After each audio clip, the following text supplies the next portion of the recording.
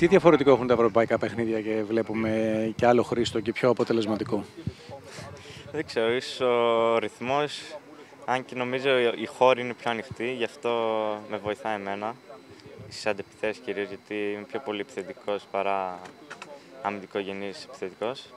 Άρα πηγαίνω συνέχεια την επίθεση. Νομίζω ότι η χώρη στα ευρωπαϊκά παιχνίδια είναι πιο ανοιχτή και πιο μεγάλη και ίσως αυτό με βοηθάει πιο πολύ. Περιμένατε να βρείτε τόσους χώρους στο δεύτερο ημίχρονο και με την Eindhoven μπροστά στο σκόρ, έτσι. Ναι, δε, δε, η αλήθεια είναι ότι δεν το περιμέναμε. Βάλουμε τον κόλλο από στατική φάση.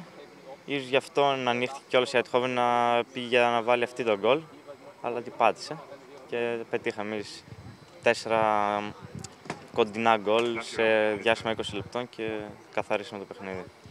Εσύ, ο Μιχαηλίδης, ο Τσιγκάρας, ο Λίρατζης, παιδιά που έχουν βγει από την δεύτερη ομάδα, προπονητής σας πλέον ένας πολύ γνώριμος, ο ναι. Παύλο Γκαρσία. Πόσο διαφορετικό είναι για σας; Ε, σε κάποια φάση μέσα στη εβδομάδα νόμιζα ότι είμαι στη ΚΑΠΑ 19. Γιατί έβλεπα όλο το team ακριβώς όπως ήταν πέρσι. Όλοι μιλούσαν ελληνικά, όλα διαφορετικά. Είναι πιο...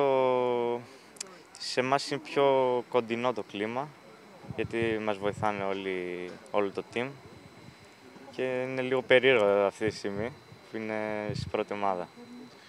Πώς θεωρείς ότι διαμορφώνεται πλέον η κατάσταση στον Όμιλο, μπροστά η Γρανάδα, δεύτερος ο Πάοκ και η Αιτχόβεν είναι τρίτη με δύο βαθμούς διαφορά και το επόμενο παιχνίδι στην Ολλανδία. Φυσικά δεν έχει κρυθεί τίποτα.